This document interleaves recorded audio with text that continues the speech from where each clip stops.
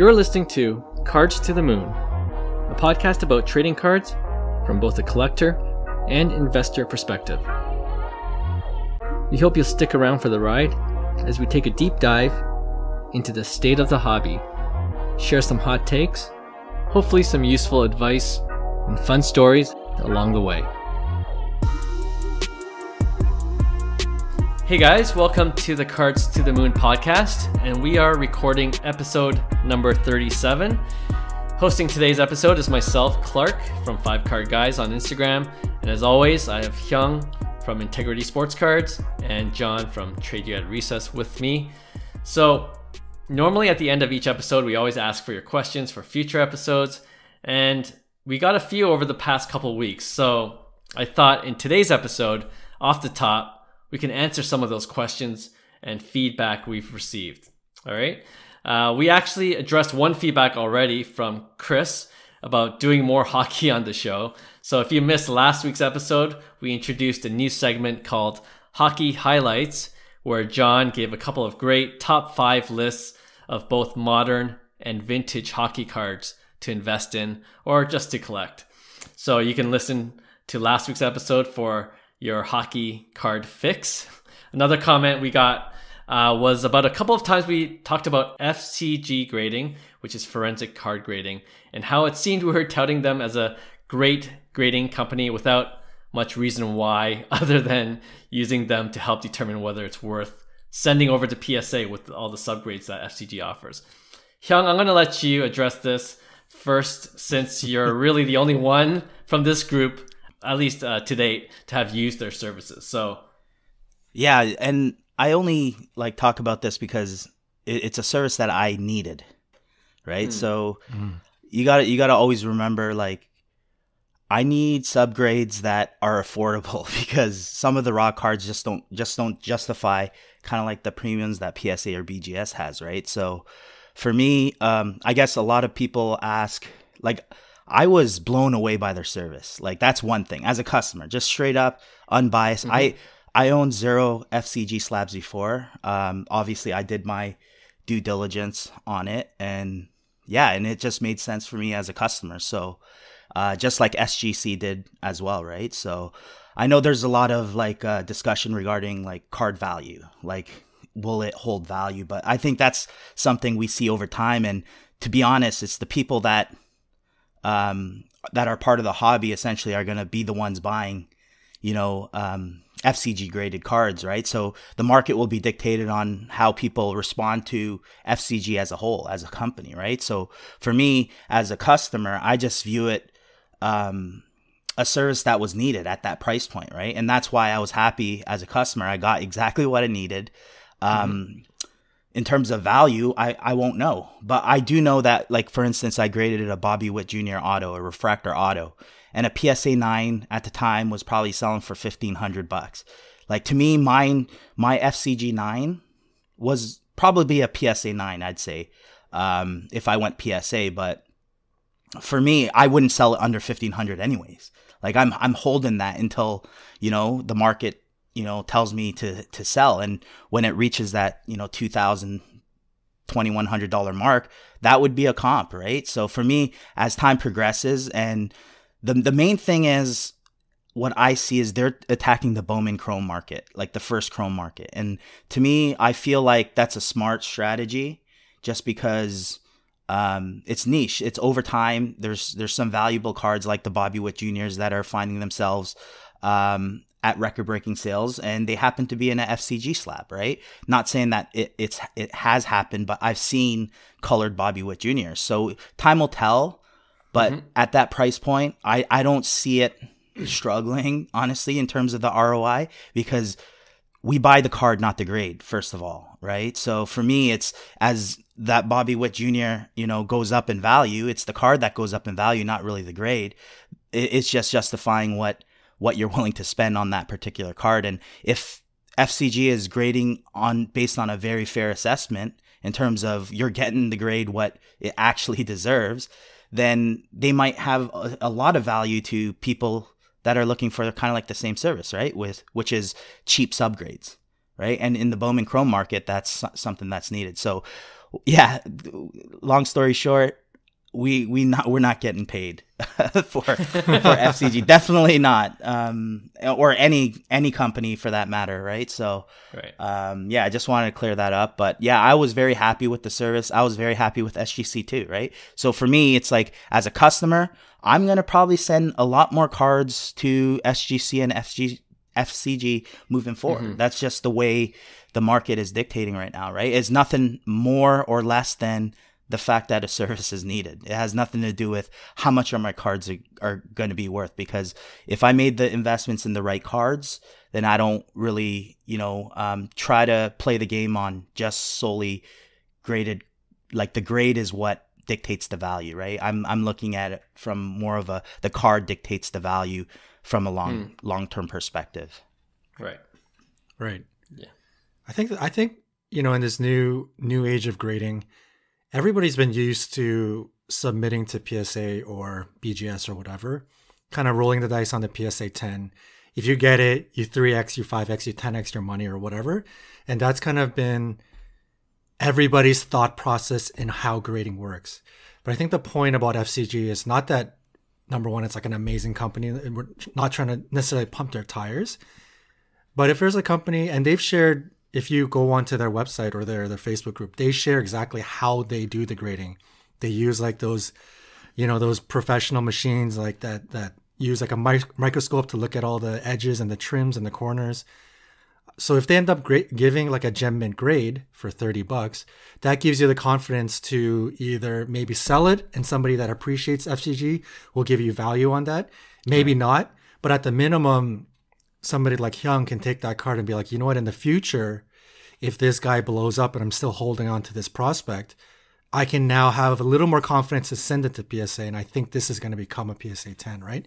right. Hmm. So, and another part of this is when you look at all of the new pricing that's coming out, like I think in this in this new world, you shouldn't be afraid to kind of invest a little bit of money into your cards, right? Like with FCG just just to find the, gra- the, the grades and and have it slabbed, have it protected, and then people seeing it can see the grades for thirty bucks. That's not bad. You you invest a little bit of money into it. Um, let's say, you know, a gr- uh, actually a really good option is SGC's new um, five day express mm-hmm. for fifty bucks. Let's say in two weeks I'm gonna go to like a sports card show in Toronto, and I'm holding on to a fifty four uh, Topps Gordie Howe raw. I had it like my grandfather had it sitting in the basement. There's nothing wrong, you know, that you can imagine the consumer confidence in in knowing that this is an authentic card.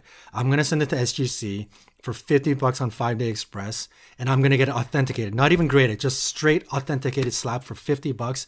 And then I walk into that sports car show and I have an authentic, authenticated 54 Gordie Howe. Like, you know, it's not necessarily about the ROI or the 2x or the 3x, but sometimes it's you, you you invest a little bit of money to give other people or whoever you're trading with or whoever you're selling with a little bit more confidence to bid on your card or to to you know to you know buy your card right? Because a lot of people are going to be hesitant like especially this whole raw world everybody is hesitant to buy. You're looking at pictures you're not looking at it in person. Um, if you can give somebody a little bit more confidence for 30 bucks for 25 bucks i mean yeah. to each his own right and rock, rock hard reviews at Beckett right now, I think they're at 40 bucks, right? And that doesn't include subgrades. So for me, it's like find me a grading company that's going to tell me my grades on the four, um, you know, uh, areas that grading companies look at. That's what I want, period. And I want them protected and slabbed. And I, I, I pay 24 bucks uh, for 50, 50 and over right. uh, with FCG and 30 bucks with SGC. And I was – very very happy. And that's all i'm sharing. It has nothing to do with anything else you know? And mm-hmm. you know i was just pl- a pleased customer. And you know what? I will be using them again both companies because I, yeah. I find value in in building my collection as well. Right yeah. right. No that i just yeah that's great that we got that comment so we can clarify where we're coming from. For me you know and you know we all don't agree 100% on each grading company or the value that we put on each grading company, which is fine. That's uh, we're just respecting everyone's opinion. But for me, I look at the macro, like what I like about FCG and any grading company, uh, to be frank, that's coming into the game is this increased competition can only be better for collectors, for hobbyists. Absolutely. Because, you know, in theory, if one grading company, a new grading company, does a great job and takes some of that market share, I would hope that that will put pressure on PSA and BGS and even SGC now to do a better job in providing good service for their customers. Mm-hmm. So I look at it more from a macro lens. I don't have any cards submitted to FCG personally, but I'm I'm looking on the sidelines to see how their market share grows and if there's always a point where I'm going to jump in like I did with SGC. Like I was just kind of watching them, and you know, before SGC, I was more exclusively buying PSA and BGS, like a lot of collectors. Right. But then when the PSA and BGS sus- suspended their services, now what? And you look for alternatives that are good to go with, and you see right. like, oh, a lot more people are slabbing their cards with SGC. That gave me confidence that there's a market for SGC cards and why can't that happen to other grading cards companies like FCG? And I think the more options we have as collectors, the better because ultimately when we want to get into that flip game or even for the investor types, um, to have a company that can offer service, a reliable, good service for cheap and quickly is is yeah that's what's missing right now when it was missing when PSA and BGS suspended their services and and now um, we have options which is great so so that's what I like to see as a collector and you know the more grading companies I get and not all of them are going to survive obviously there's so many out there that we haven't even mentioned on the show but we need more than just two or three I think and you know let the collectors decide where they want to go mm-hmm. now point. the most important now the most important question is why does every grading company use a three letter acronym? it's just a standard. It's, yeah, is there some sort of rule that I don't know that you have to name your company? It's psychology. It's so funny. You know what? Well, look at BCCG. It's not. It's yeah, not great. Yeah, just one one extra letter. I don't know. It's not great. I just want to see somebody come out and just call their company Supercards or something like instead of. Well, we'll see if that ever happens. I don't. I'm not betting on it, but. All right. Uh, we actually have one more question that we can address on this episode, and this one's from Brian, who messaged us on Instagram, and he says he's not a big baseball card collector, but he would love to buy a Vladdy card in the 200 to 400 dollar range to hold on to going into this coming season. Hopefully, that there is a season. Um, and he he did uh, reply back. We don't have to s- stick strictly to the $400 max limit because that might limit the options. So let's just say anything under a thousand dollars. Is there any Vladdy card that you would recommend to Brian to hold on to as an investment um, over the over this coming season? I'm actually sticking uh, to under 500 because that's oh. kind of I, I, I feel like that's more realistic. Um, and there's a lot of opportunity I think floating in that range, especially that 200 to 400. Sure. And that's that's the thing. It's um, I think there's a lot of uh, cards of Vladdies that are still cheap, that are still underpriced. Uh, one specifically, uh, his 2016 uh, first Chrome Refractor PSA 9. I think it. Uh, I think in the last couple months they sold between four to five hundred bucks, and that's a numbered refractor of his first Chrome. It's obviously non-autoed, but nice. um, I'd imagine a PSA 10 is probably going north of you know, two and a half K. So for me, at that 400, 500 for a PSA 9, I don't think, I think there's a big, you know, uh, discrepancy in terms of a PSA 9 and a PSA 10 price. I don't think there's, you know, that, that big of a difference, um, or should be. I also think there's a lot of opportunity, um, you know, with your X fractors, your PSA nines, X fractors that are floating around 250, 300 bucks. I think those can easily grow, um, especially because everything's um, like the the staple is based off the PSA 10 price, right? So, and mm, then sure. you go into pop counts and see, hey, you know what, the PSA nine of an X fractor shouldn't be that big of a difference. That's the way I, I, I see it when it's, you know, less than, you know, 20% of the PSA 10 value, you know, there might you might find a lot of value in that PSA 9 is what I'm saying, right? Especially for a card that's probably very similar in terms of grade um, overall, right? So, and I lastly I'll throw this out there. Um, I do think uh, kind of like the Topps update. I know it's not the desired image, but Vladdy doesn't really have paper parallels, mm. right? So I think there's a small market uh, for Topps update even though it's it's very cheap. So you could get a Topps update, you know, uh, a gold I think for like 300 bucks, a BGS 95. Um, which is uh, the paper gold, which we all know. You know, obviously Trout's update has a paper gold, and then you look your Tatis, your Sotos, all those golds do well in the long run in terms of the paper. And uh, there's also in the update there's a SP and a SSP.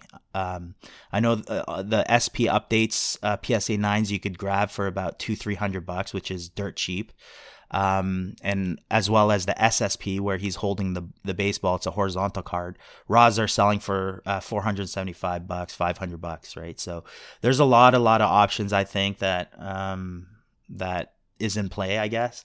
But again, it's it's there, because in 2019, I, I find they started printing a lot in terms of the higher prospects, like your Vladdy, Tatis, your Acuna's. They have a boatload of rookie cards, so I always say, you know what, the first to go up will be your Topps Chrome, your your flagship, your NNO, your Topps Chrome, and then mm. uh, and then all these alternatives kind of follow, like the Bowman Chromes, the Topps updates, the Sterlings, and and whatnot, right? So yeah, that's kind of where um, my head's at. I think there's a lot more opportunity to grow with even these, you know, cheaper cheaper slabs. I think there's so much value uh, in them. If you could get any numbered you know, Vladdy at this point, you know, for under 500 bucks, I think it's it's a great steal. You know, I like um when prices are this low, especially when you talk about flagship like Topps Chrome. When prices are low and you look at the refractors that are not numbered, the prices are usually pretty tight together. But as the player becomes a superstar and his prices start to shoot, you're you're going to start to see some big time separation between pink refractor, refractor, prism refractor, X fractor. So right now, I think Vladdy's cards are tight enough that there's a lot of value here. So if you look at like I'm going to go above the 400 range, but if I think it would be good to spend a little bit extra and be a little bit more protected in terms of print run and pop pop reports. So for example, pink refractor is at like 400 for PSA 10. A regular refractor is at like 450. A prism refractor is around 500. And then I would argue, I think the good buy is stretching just a little bit above that. And around 550, 575, you get the X Fractor, right? And if you look at some, for example, if you look at even Tatis, who's just a little bit ahead of Vladdy, like his pinks are like 450, 500, but then his X Fractor is like 1,000, 1,100, you know? So I think when Vladdy, you know, if we're all kind of predicting Vladdy's going to have another big year, I think a card like the X Fractor PSA 10, um, not only is it liquid because it's a Topps Chrome flagship, it's also liquid because it's a PSA 10. Those are like the two greatest, you know, characteristics of liquidity when you want to try to get rid of a card.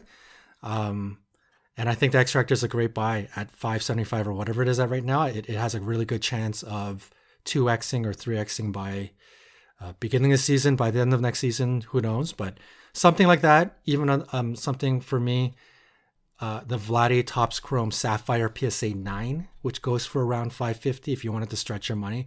Again, it's a, it's a PSA 9, it's not the 10. But again, you're you're protected by print run, right? I don't know in 2019 how many Sapphire sets were there printed, like less than 500. Um, so right. I, I for for me, I like those two cards.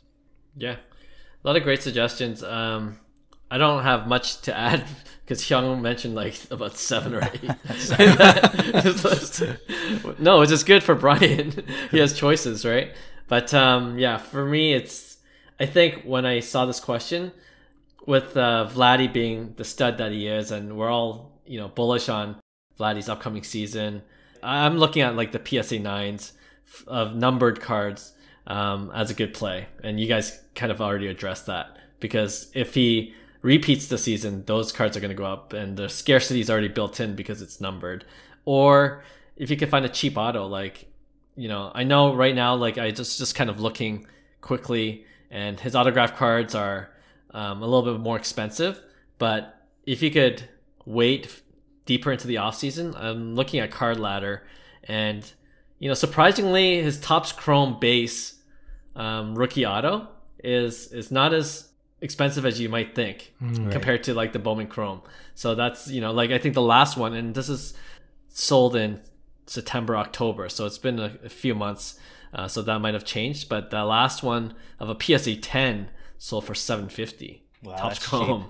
Yeah. Yeah. And really then the cheap. and the and in September the one before that was about 600. So you know it kind of ebbs and flows in terms of the price.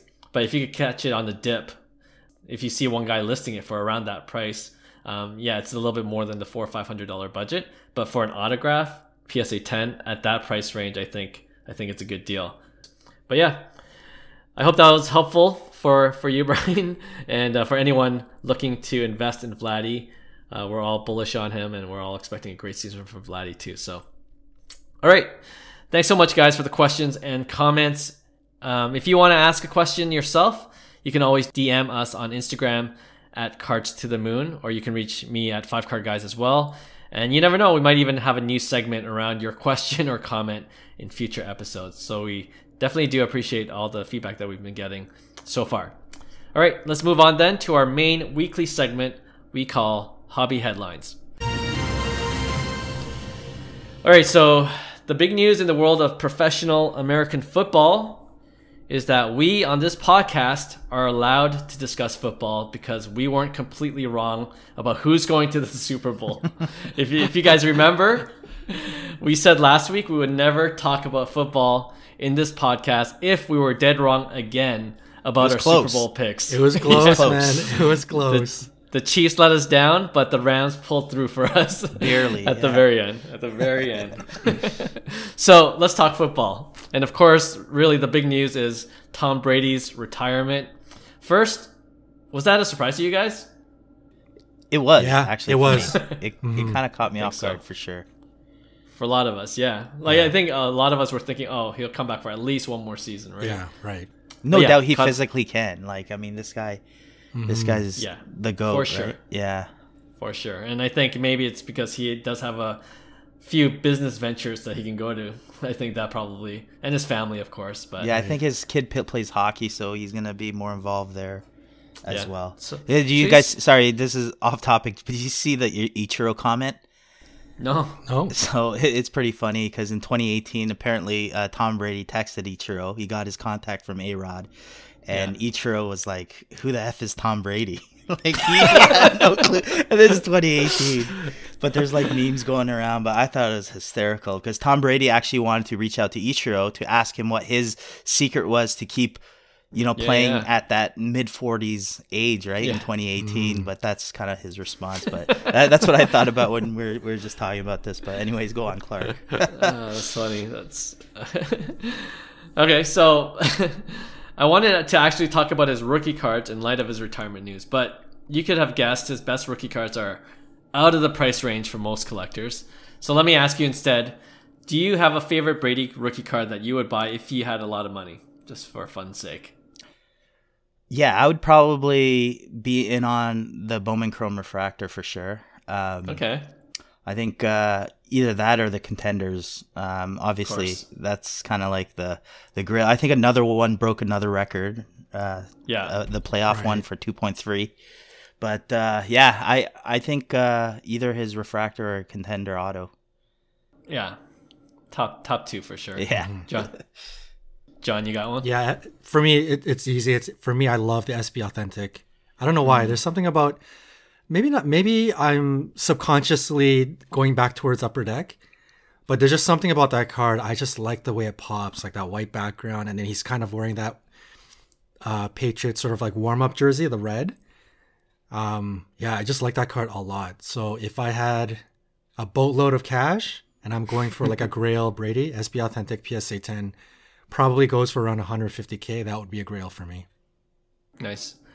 Yeah, not much more to add. I think the top three are the ones you just mentioned, guys. So the contenders, the Bowman Chrome. I think the Chrome is the first is the first, if not only, Chromium stock card rookie card that Brady has. So that's that's nice. And then and the SB Authentic numbered to one thousand two hundred fifty is a pretty sweet card to have as well. Johnny, I think I know a guy selling one. If you want, I wish. man, I remortgage your house. Even for a PSA, even for a PSA 7, I probably have to give up my entire collection. it was in the high rollers room. Oh man. Which which grade you is got- he? Oh, I saw that the uh, PSA 10. Yeah, the PSA 10. Yeah, he was asking. Wow. I think he was asking for like 140 or something like that. yeah. Oof. Jeez. Yeah. Okay. Well, yeah, it's pretty much out of our price range. But what I did want to talk about, though, speaking of GOAT players and their rookie cards, we mentioned it before that in the hobby, many collectors try to attain these goat cards by essentially flipping and trading up. Like that's the end goal for a lot of us collectors, right? But you have to make the right bets on lesser players and and even time the sale right to keep moving up. So what might be more useful for a lot of our listeners and a lot of collectors is do you have any strategies you use to try to trade up for these bigger cards? Any kind of advice on what you can do to hopefully attain one of these grail cards? so yeah the what what i like to do essentially is um, get more liquid cards and kind of um, i don't mind putting extra money into a trade too so when i trade up to a card i'll trade multiples plus a little bit of cash right um, and then once i get kind of like a bigger card what i try to do is i try to kind of like lock that up and see where that goes because they're they're tough to come by. I know the flip would be rewarding on some cards to you know cash out on a big card like that, and there are times when you do when when you feel it's right, right. But I don't think uh, a lot of people do. Uh, it's not realistic for them to drop like a five figure of cash, you know, into one card or six figures for that matter, right? So if I see all combinations of crypto, you know, trade for cash or trade for cards for slabs, and then half you know PayPal or whatever it might be, right? So mm. I think trading up, um, focusing on you know players that you think are going to be great, and those big cards that you know could potentially spike up in value where you're not really invested too much in, where you could get you know when the time's right, you you maximize that value or vice versa if, if a, a player is on the downside you know that's when you want to trade for them right so when their when their price is low you trade a, a value that's more higher to receive something um, of lower value, right? So. Yeah, and we always joke with you, Hyung, that you love volatility. So, like, what kind of players do you like to target that has that volatile kind of um, potential? I it, it would have to be those um, you know goat type players or at least the big prospects that you know um, that are on the dip because it, you know I remember we talked about Ja Morant uh, earlier in the season. He was a guy that you could potentially see okay his his prices could go bonkers because we've seen him before right? So uh, if you're to buy you know a, a, big Ja in the off season and now his his card has you know tripled in value let's just say the one you have. And you know a Justin Herbert is in the mix now that he's out of the you know uh, playoff contention or Super Bowl.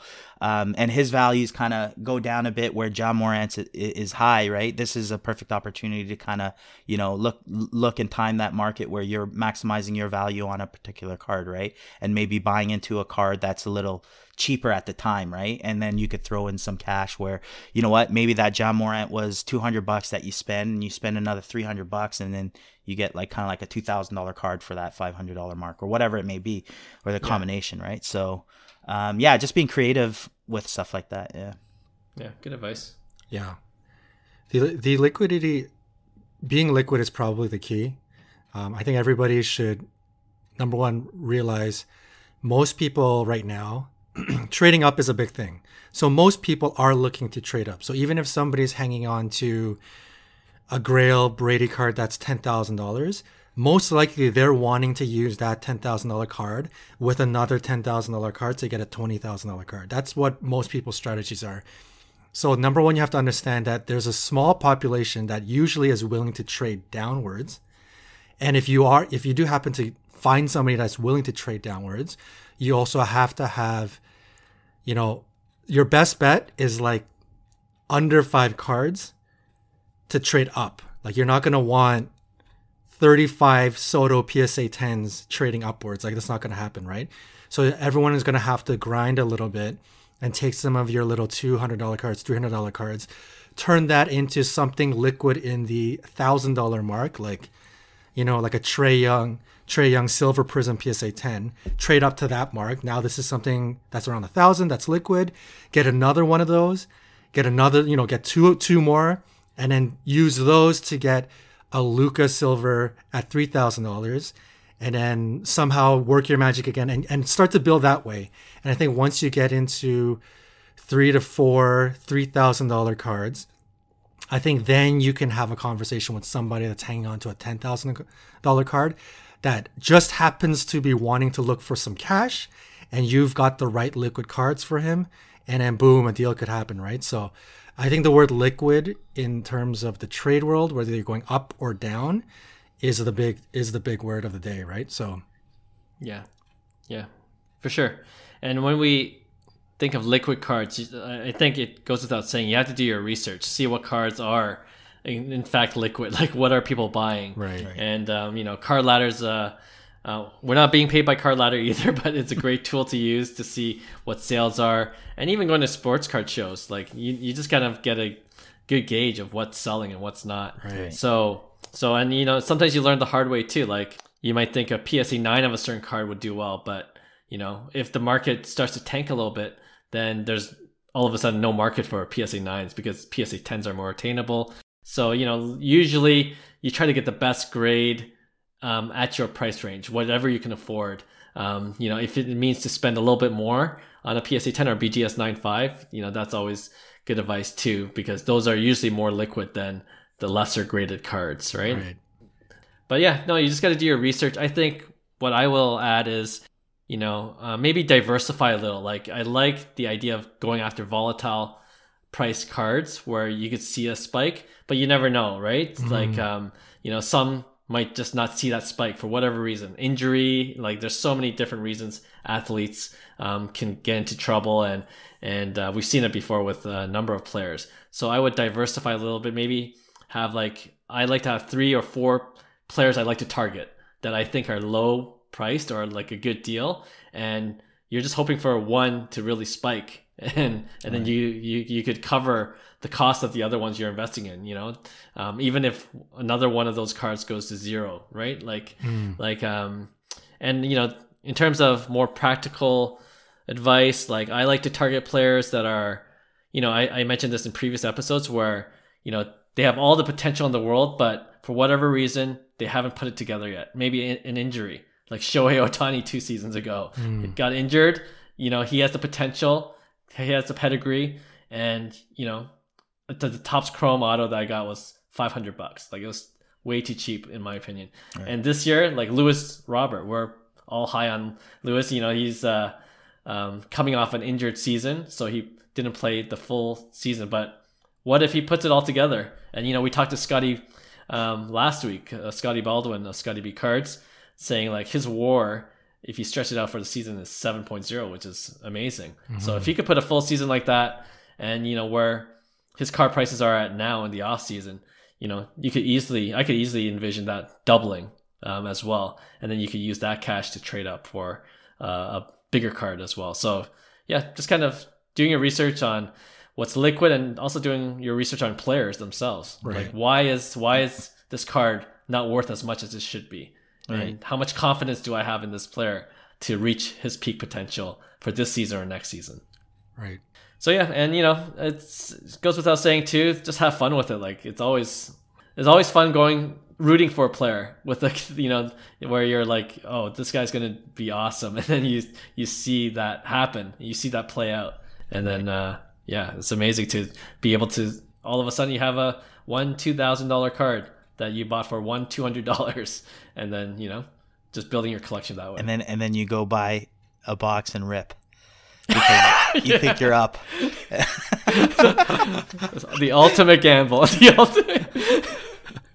You just gotta throw that in there because I know a lot of uh, listeners will will be like, absolutely. With that profit, enter a few razzes. Yeah, enter a few razzes. You just never know, right? And then you start all over. exactly. Repeat. Rinse and repeat. All right. All right. Okay, so yeah, you know, it's and oh, one other thing, one last thing I'll mention is to be patient. You know, like if you want a ten thousand or five figure or six figure card, like that takes time, right? right? To build up, to build, build, build up. Like you can't expect like, oh, I, I invested a thousand bucks and all of a sudden it's worth a hundred thousand. No, it doesn't work that way. Yeah, mm-hmm. I think I think that's the biggest misconception is that right is the it's it's quick money. You know, it's like a lot yeah. of variables can happen throughout the year. You know, it's a, it's kind of an emotional roller coaster if, if you think about it. But if you watch sports, it's it's great, right? Yeah, it's a lot of fun. Yeah. And the people that do make those huge um, profits are taking huge risks as well, right? Absolutely, like, yeah, you know, for sure. High risk, high reward, right? So yeah. All right. Speaking of GOAT type players, before we head to the next section, um, Serena Williams, her SI Sports Illustrated for Kids rookie card just broke the record for most expensive women's Insane. sports cards sold ever, selling at one hundred seventeen thousand dollars. It's crazy. That's that's wow. awesome news, though. Great, yeah. great news. Yeah, love it. I, I say insane, not that it's because it's Serena Williams. I say insane because, um, I don't know how much. You know those SI for kids cards. Yeah. Like I don't get the hype as much as other people do. I get it. It's usually an older card versus like their main Topps or whatever main release. But I know that in, within the card market, you can't actually sell like a physical card. If if you deem it as a card, you have to get it licensed. So Sports Illustrated, you can't. They couldn't get it licensed, so they print it as a page, a part of their magazine, and it's just right. a. It's basically a cutout, like it's a piece of it cardboard. Cutout, you, yeah. You cut out. It's yeah. not officially a card. So to see something that's not officially a card and it's meant for like a kids magazine that becomes like the best of the best, like Serena's, and then you got the Tiger Wood SI.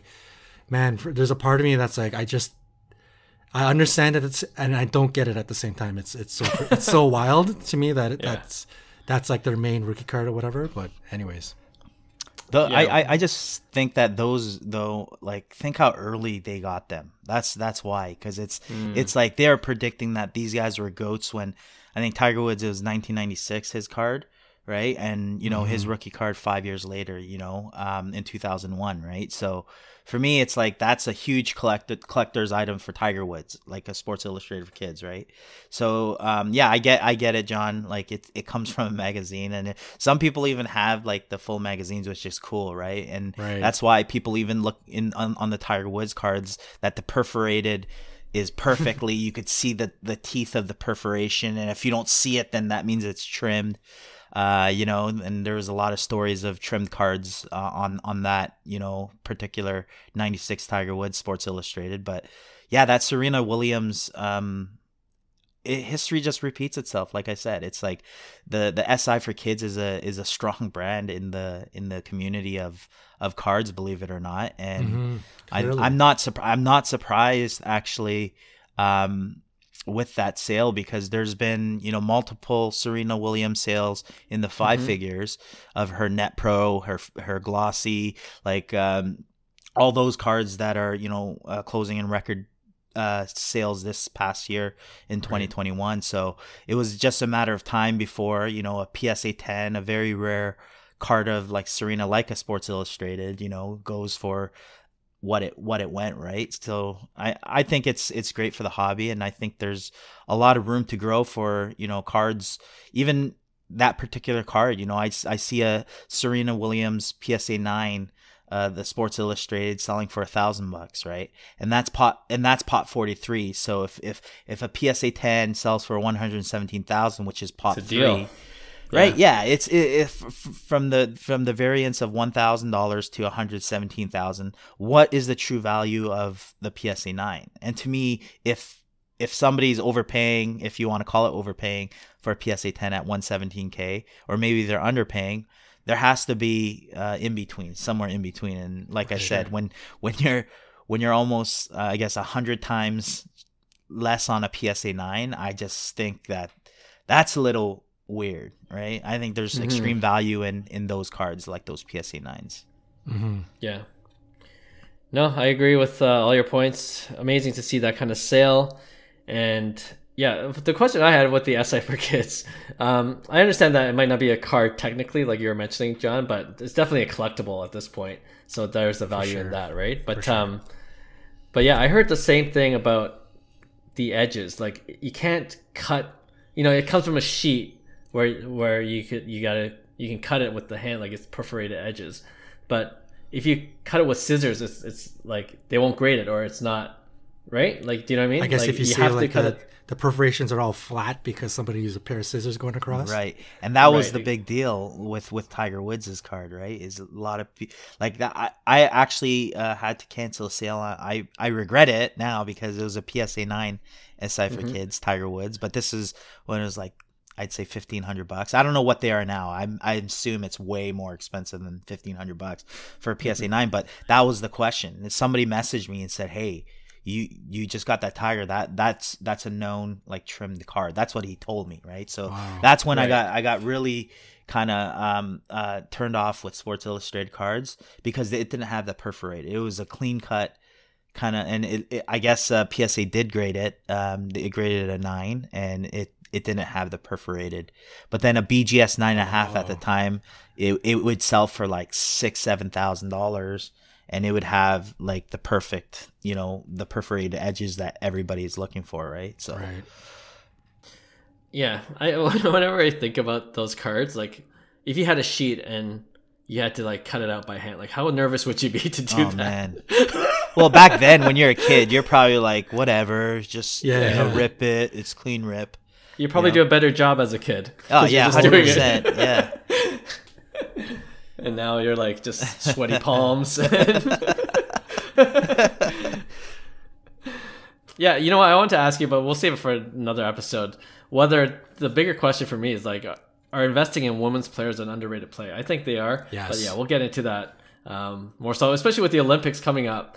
Um, you know, like I've read, I just want to, I think I read somewhere this bef- about this before, but that for network TV, like the higher higher ratings are for women's sports in the Olympics. So it depends on the sports itself, but um, you know, there's a lot of potential um, to invest in women players and where you could see uh, a, a, good increase in the value of these cards moving forward. So absolutely another thing to yeah another thing to look out for. All right, with that, then let's move on to our final segment of this show. It's called Pick One. And as we normally do, we alternate between the regular edition of Pick One and the Hot Takes edition.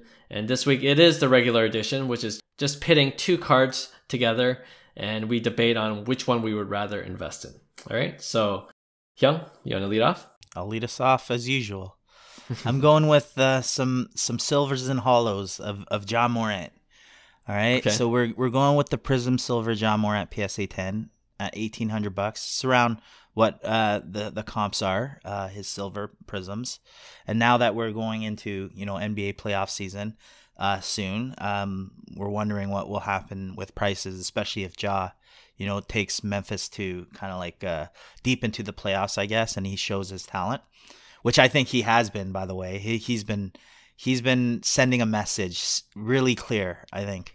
Uh, when mm-hmm. especially earlier this year when he made that statement with like Luka and Trae and he wants to be you know named and all that but uh, yeah anyways uh, I'm I'm putting that up against the Optic Holo uh, PSA 10 so the the I guess the silver version of the optic image, which goes for about half that price. So sales were uh, in around seven seven to eight hundred, um, but there's not a lot out for sale, right? So there's only a couple on bids. So I'm assuming prices will continually, gradually increase as as uh, basketball progresses in the next month or so. Um, but what are your opinions? You take the cheaper holo at 800 bucks half is that the better investment, or are you going with the staple Prizm Silver that everybody wants? Mm. So you guys know me. I would, I would pick Optic Holo, but for this specific question, I'm going to go silver. Yes, I'm going to go really? silver. I am, hmm. and um, I don't remember if I mentioned it on this pod. Maybe we mentioned it offline, but I, I'm, I don't. It, it was a while ago I heard this, and I, I'm thinking it was Jeff Wilson in one of his very old videos. Um, it might have been somebody else mentioning how they were having dinner after like a big card show or something, and they're sitting with some big wigs, you know, possibly from Panini. I don't know the inside scoop, but they had mentioned that some of those he had overheard a conversation of some of those big wigs talking about how they purposely made silver in 2019 uh, a lot more uh, less printed than previous years versus the base. So in terms of like ratio of how many were printed. Um, and this was like early on. I think this was when Prizm first came out. So if it was Jeff Wilson, he kind of posed the questions. Let's see what happens now when these grades start coming back in like six to 12 months from now. Let's see what happens. Now, if you look at the pop reports of, say, base Luka and base, um, sorry, silver Luka, PSA 10s, it's like whatever, 17,000 base, 3,000 um, silver for Luka. And then if you look at Ja Morant, the base is obviously going really high. And you'll notice the silver in comparison ratio wise, it, it is actually lower. So maybe there was some truth to that sort of like opening the ear to the insiders. So that really intrigues me about the silver, particularly just for the 2019 year. I'm not talking about any other year. So for Ja's year, and for I, I like this, you know, I, I, like the prizm design in that particular year. So personally, on a design level, I like it just as much as optic. But then I'm very intrigued of that print run. Um, I think it could hold pretty low. I, you know, it's probably what, what, Do you guys know what it's at right now? Yeah, uh, I'm just looking up. Yeah, on Pop Report for the silver PSA 10. 2000. It's at 1264. Yeah, 1264. That's like half right. of Luka's, right? But Less then the base, half. the base is almost catching base up to Luka, right? Almost 20,000. 20,000. 19,000, something, right. yeah. There you go. So you look at the, the ratio is already a lot less than the Luka. So I think that really intrigues me. So even though the price is higher on the silver, um, it is sort of what you, you know, in Baseball World Flagship, it's the main iconic card. And if it really was printed less than normal, man, I'm all over that card. That's the one.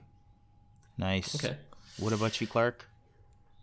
Yeah, John convinced me to go Prizm, so and you, you know, uh, um, it's it's like the question I asked last week about, or the couple weeks ago about Luka Silver Select. Prizm PSA 10 um, versus uh, Optic Holo. Oh, oh, yeah, right, right, right. right. So um, essentially, we're swapping players, and yeah. I think I went with I went with Silver, but um, and I think that was harder for me to answer the Luka comparison.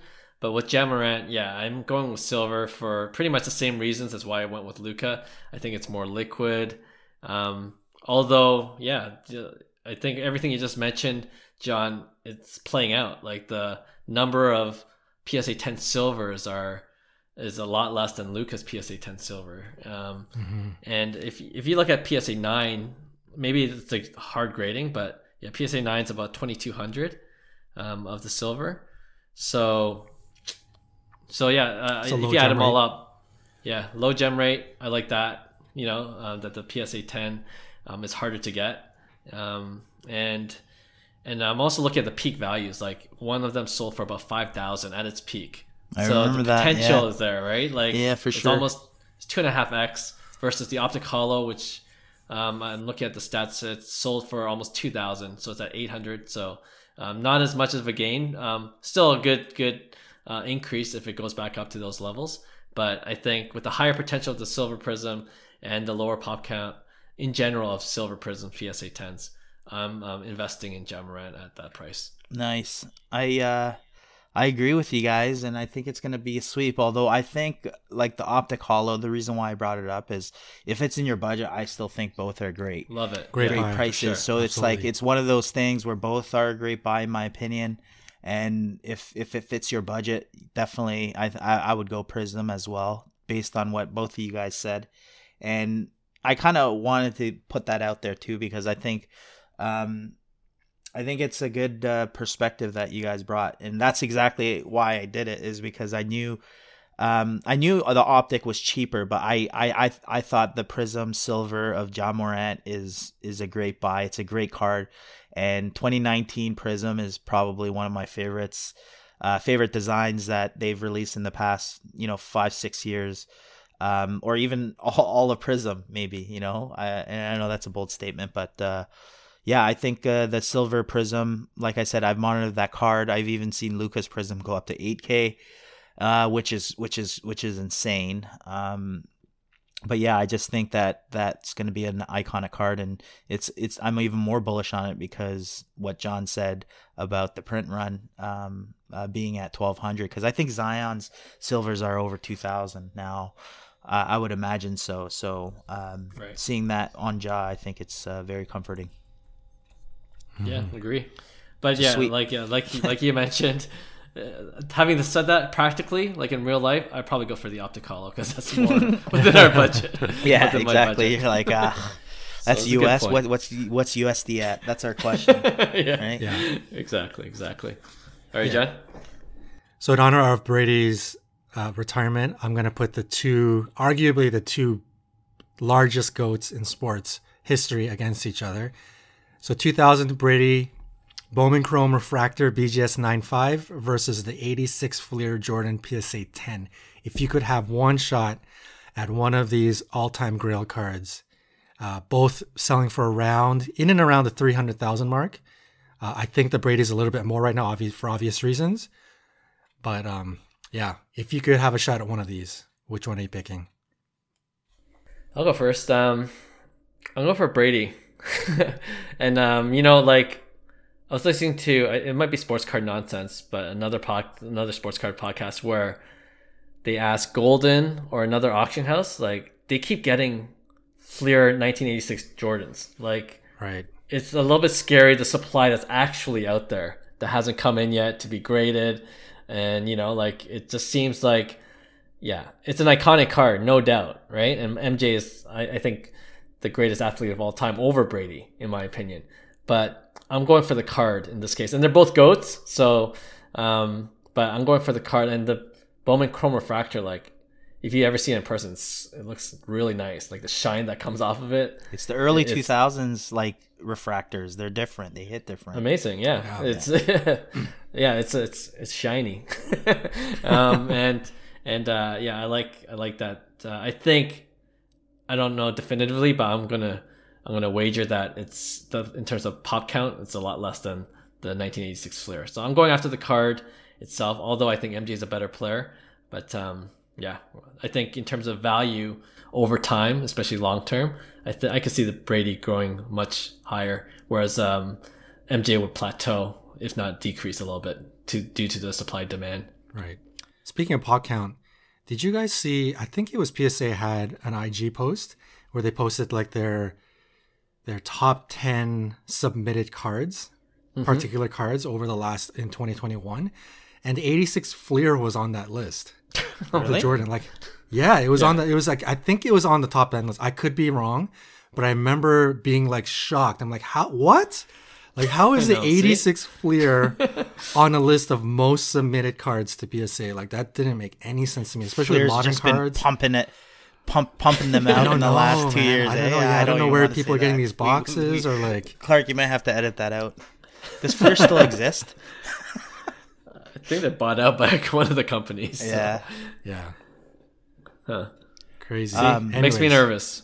Yeah, no, yeah. So it makes me not want to say 86 Jordan.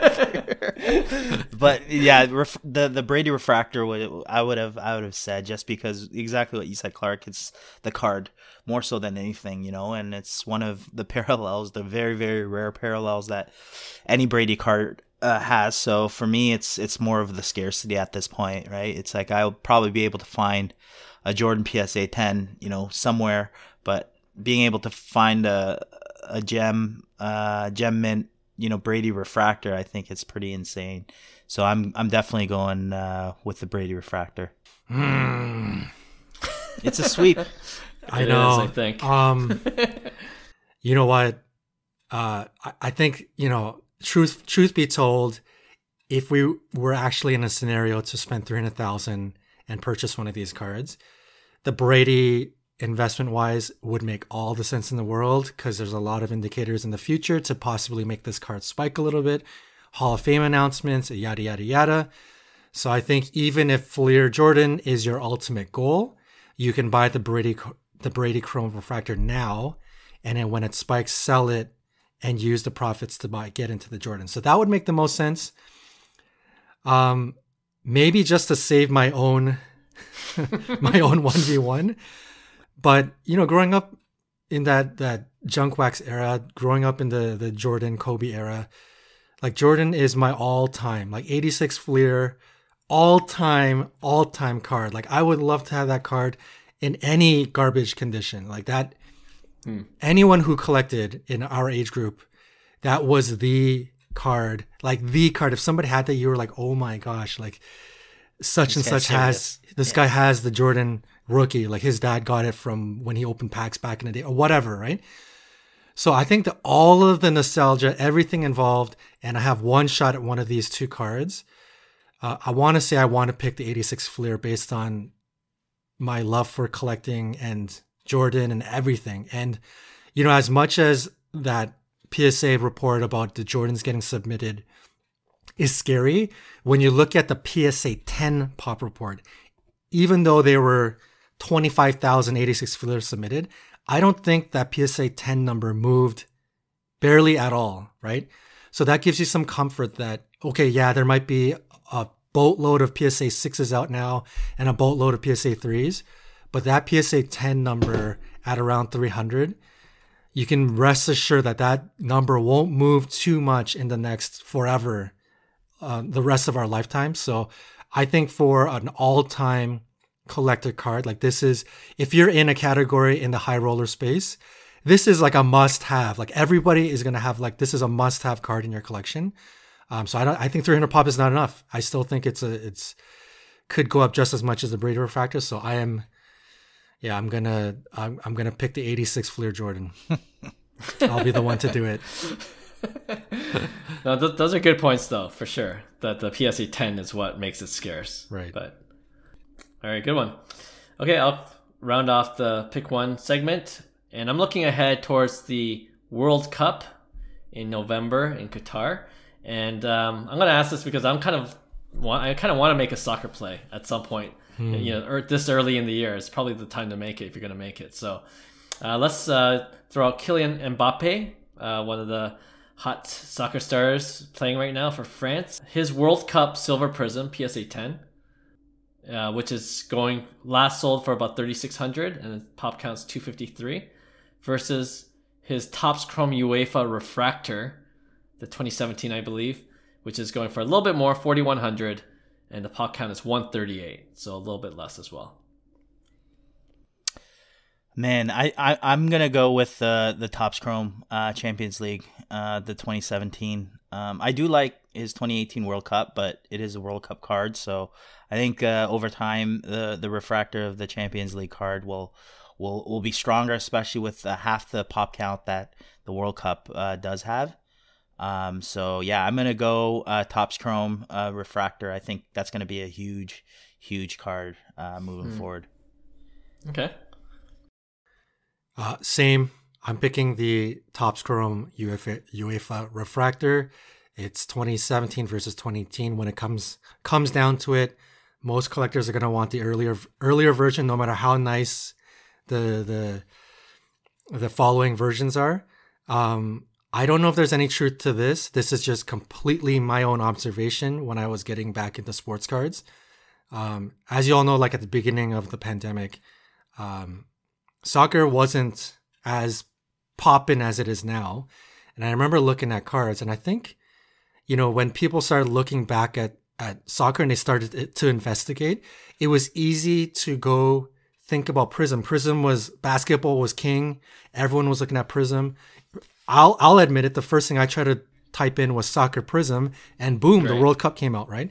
So I think that World Cup set in 2018 had a ton of exposure when soccer was getting on the map. And as soccer really did get on the map, people started to really do their research and realize, oh wait, guys like M- Mbappe have a card in 2017 Topps Chrome, and then they have a rookie card in whatever the his actual rookie card is with that split with the with the other guy. That's like 2014 Panini or whatever that that is. Um, right. I'm t- totally butchering it, but I think as people started to really do their research, they found out, oh, it's not World Cup Prizm is the end all be all. Be all. There's all these other cards that exist. So, just my observation. N- no idea if there's any truth to that, but I feel like the World Cup Prizm in the early early years um, really had a big shine. Like everybody was looking at that set. That was like the king set to go to, and that really... 2018 World Cup set is monstrous. Though you're right. Like that yeah. 2018 World Cup is absolutely monstrous. Right, low print run, all of that jazz. Low print run, super expensive for a box now. Yeah, like, totally. We're talking like five G's for a box, maybe probably more for a hobby right. box in 2018 World Cup, right? So, yeah. So I mean, it's still big, but I think bottom line, end of the day, the the UEFA refractor lower pop, it's slightly more in terms of money to spend, but I think it's worth it, man. People are gonna look at the the they're gonna prefer 2017 over 2018. I, I know I would as a collector, so yeah, UEFA refractor for me. Okay. Um, yeah, this was a hard one. I keep going back and forth, but I like all your points. I'm actually going to go with the World Cup because mm. I I think largely it also depends on when you want to flip it, right? Like if right. you want to flip it this year, I think if you have the World Cup card, it might be easier to flip for for a good price. Good yeah, for um, later this year, depend you know, especially France does well. Um, you know, he's in his um, country uniform rather than the club uniform, and who knows where Mbappe is going to play in the future. There's always questions about that too. Um, so, so yeah, I think, and the like you mentioned Hyung too, like that World Cup 2018 is is an iconic set.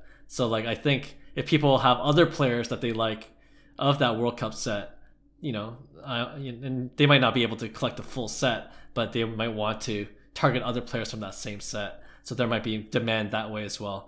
And I'm just looking at card ladder as well. Like, who knows if I'll go to the peak, but the peak of the Topps Chrome UEFA refractor was about just over 10,000. And I don't know if it's wow. what you said about, um, you know, Panini getting the shine um, early on, but the, the highest sale of that card, the World Cup Silver, was uh, uh, 12,000. So definitely higher. But yeah, both amazing cards. I think I would, I, you know, whatever the better deal is at the time, I would probably go for it. But in terms of flipping, I think there's more opportunity this year at least mm-hmm. for the mm-hmm. World Cup Silver Prizm. All right. Uh, thanks to everyone listening to this episode and this podcast of Cards to the Moon.